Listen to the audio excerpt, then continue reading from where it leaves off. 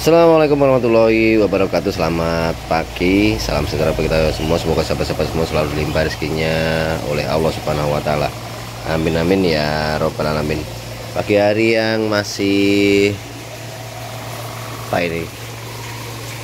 Agak sedikit-sedikit mendung ya. Kembali bibit unggul Sekitar 5758 Tentu ingin terus berbagi sebuah pengalaman Yang berkaitan dengan peralpokatan Bagi yang sedikit dingin ini saya ingin membagikan dua hal yang mempercepat uh, tanaman alpukat khususnya itu cepat berbuah ya.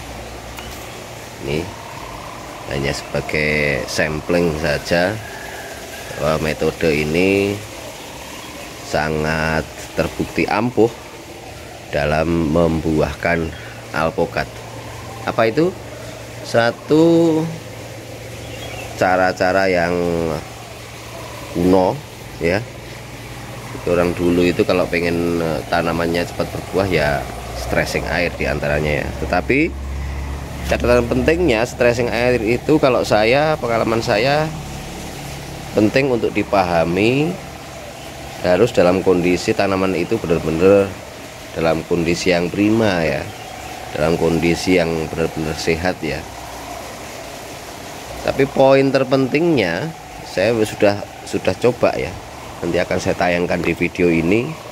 Dalam kondisi tanaman yang tidak diokulasi dan itu hanya dari biji kemudian saya lakukan stressing air sebagaimana yang saya lakukan di tanaman yang sehat itu ujungnya malah mati ya sahabat ya.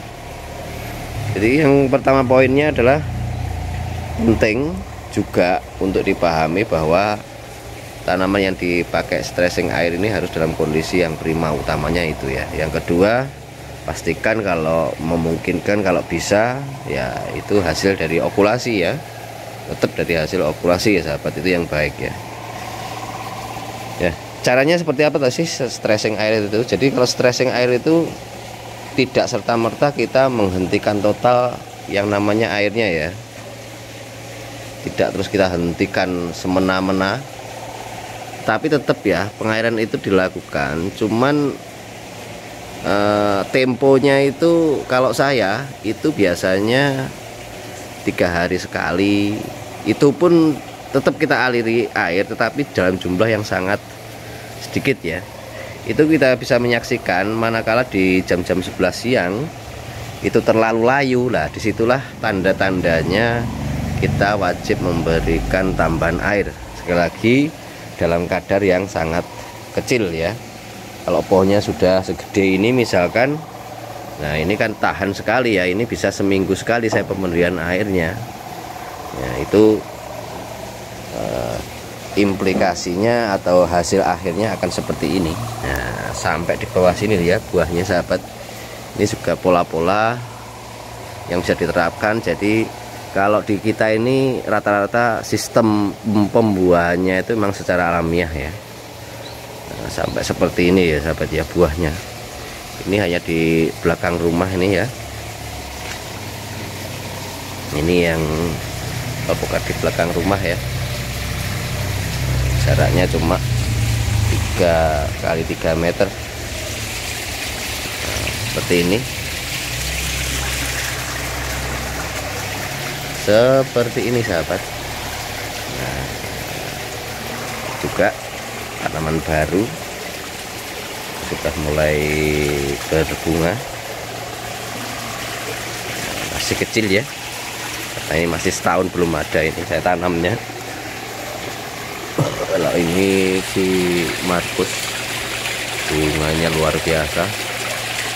Bukan biasa di luar yang kedua itu cagi orang dulu itu pembuahannya dengan cara menyakiti atau disakiti ya.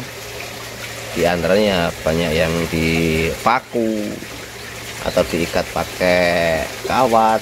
Kalau saya biasanya saya lakukan pengeratan seperti ini untuk mempercepat pembuahan. Ini saya tanggali ya 8 Agustus ya masih baru tulisannya. 8 Agustus yang lalu. Sekarang tanggal 4 eh, sekarang tanggal berapa sekarang? Sekarang tanggal eh, 17 ya. 17 September berarti satu bulanan ya. Dan ini hasilnya. Saya tunjukkan. Ini kalau bisa melihat.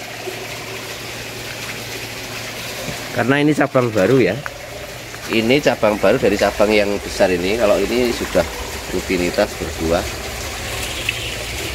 nah, itu bunga-bunganya. Kalau ini cabang baru makanya karena ini juga sudah kelihatan tua meskipun di atasnya masih sedikit hijau. Itu makanya biar serempak dengan yang atas itu saya lakukan uh, tindakan pengeratan ya seperti ini. Ini sekitar berapa ini dua jari ya sahabat ya. Dua jari. Ini sudah mulai ketemu-ketemu dan di atasnya sudah nampak bunganya. Ya bukan tempelan. Oh asli ya. Asli. Ya itu ya sahabat ya. Dua metode pembuahan secara alamiah. Pembuahan orang-orang kuno atau cara-cara kuno cara-cara lama ya. Dan sudah sangat terbukti. Sangat terbukti cepat berbuah mantap ya sahabat ya. Semoga ilmu di pagi hari ini menginspirasi ilmu di pagi hari ini bermanfaat dan semoga sahabat-sahabat semua selalu dilimpahi rezekinya oleh Allah Subhanahu wa taala ya. Terus semangat lah untuk berbuat baik dan menebarkan kebaikan. Assalamualaikum warahmatullahi wabarakatuh. Mantap.